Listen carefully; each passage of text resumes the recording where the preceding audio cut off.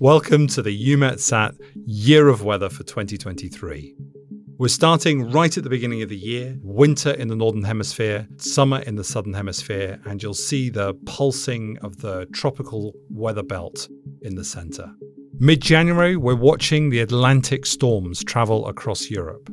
Some of those storms are bringing very high wind and rain. So, one of the storms that came over in the middle of January 1415 came over France and Spain, recorded winds of 150 kilometers an hour. Turning to the south, you'll see the tropical cyclones and the hurricanes in the southern oceans, their energy coming from the warm water surface. We've put the label on the storms that were above a certain category. And you'll see as the storm season progresses how many storms there are. You can watch the progress of those storms over the ocean. Have a look at Storm Freddy, just forming off the coast of Australia. This particular storm had an incredibly long life, travelling away from Australia, across the southern Indian Ocean, towards Madagascar. These storms are incredibly powerful. They're amazing to see from the satellites, and the forecasters are able to watch their formation, to observe how they develop, and forecast the track.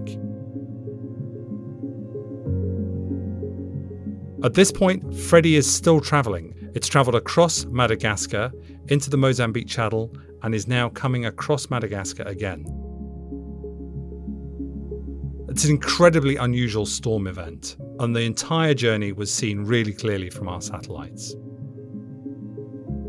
The warmer waters in the Southern Ocean are caused by the solar radiation, so the energy and the heat from the sun heating up the Southern Oceans. You'll see as the year progresses and the orbit of the Earth and its relation to the Sun causes that heating to move north, that that tropical band of clouds in the middle moves north. That's driven by the Sun as well. So you see the daytime heating warms the surface, causes air to rise, form those tropical thunderstorm clouds, and then they decay overnight as you've got cooler environment and the cycle starts again. It's why you see that pulsating effect. So that's over a 24 hour period, that pulsating. And you'll see some of the storms moving along as the day progresses and the heating progresses. Have a look at where they are now, and you'll be able to compare with later on in the video where that tropical belt sits.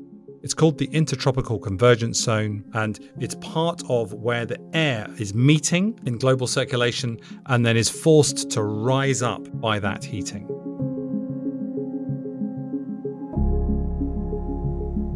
So we're now moving to the end of April. If you look at Europe, we still have the occasional storm travelling across the Atlantic Ocean. But you'll also start to see there are days, particularly in the southern parts of Europe, where there's much less cloud. So for solar generation, this is great news because we're now starting to see more solar power being available. But also, we're starting to get into the much drier part of the year.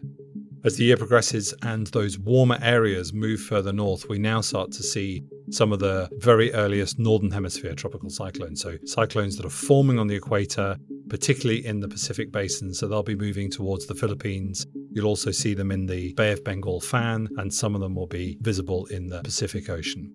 One of the biggest storms of the year was Cyclone Mawar, also known in the Philippines as Cyclone Betty. And you'll see that storm forming just north of Australia and then travelling over towards the Philippine Islands. Mawar caused significant damage, particularly when it reached Japan, also travelled over Guam and had some effects on the Philippines as well. Turning our eyes again to the Northern Hemisphere, what you'll see in the European area is less of those severe storms travelling across the Atlantic. We're getting much, much more stable weather. What we're showing you in these images is the clouds taken from the geostationary ring. They're from the infrared channels on board those satellites. And we're putting them on top of a natural Earth representation. So the green you see isn't live from the satellites. We do get growth information and agricultural information from the satellites, but here we're showing you clouds over a climatological area. In Europe, we're starting to build up a very, very dry situation. So, quite a, a, drought. And through the course of the summer, we actually saw quite some heat wave. The same was also true in North America, but that was accompanied with a really severe fire season. Now, in these particular images, we don't see the smoke so well. These can be seen by the satellites, but we need to look at channels there that are very, very sensitive to the smoke particles in the atmosphere. And when we look at those channels, and you can see some of these cases on the EUMETSAT website, you'll be able to see smoke from the Canadian fires that was travelling away from Alberta, the centre of Canada, over the eastern seaboard of the US, travelling across the Atlantic and reaching Europe. Many people were able to see the effects of that Canadian fire smoke in Europe in the sunsets. So the sunlight was being scattered by the smoke particles at sunset and making the sky that really deep red. Europe experienced a significant and sustained heat wave towards the end of July, beginning of August during this particular summer period. The anticyclone, so the high pressure, was centered over southern Europe, and what that was doing was driving the cooler air north and over other parts of the European continent. There was a 10 degree temperature difference, so Paris was experiencing 35, 36 degrees, whereas Athens was experiencing 45, 46 degrees, really high temperatures. And that leads to quite significant societal effects. So it was seen inside the hospital admissions and the demand for energy, for cooling, and people trying to find cooler spaces and safe spaces to be during these hot periods. Associated with this really warm summer, we also had some significant convective events. So, this is the summer thunderstorms where that heating on the ground lifts any moisture and causes large scale thunderstorm events. And you'll be able to see those by those bright white clouds in the European areas they happen. As we move towards the beginning of September, we're also starting to see the real activity of the Atlantic hurricane season. Those Atlantic storms are born off the coast of West Africa. You see the flow of clouds, the waves traveling from West Africa into the ocean area. That ocean provides the energy that the storm needs, and some of those waves will start to organize and then spin. They pick up their energy from the ocean surface, and as they travel across and become more organized, they become more dangerous. Those storms take a while to develop, so they can be very, very well forecast. It doesn't reduce their effect in terms of the hazard, but it does reduce the damage and the loss of life and the loss to property as people are able to protect themselves. You'll also see storms continuing in the Pacific areas, both in the East and West Pacific.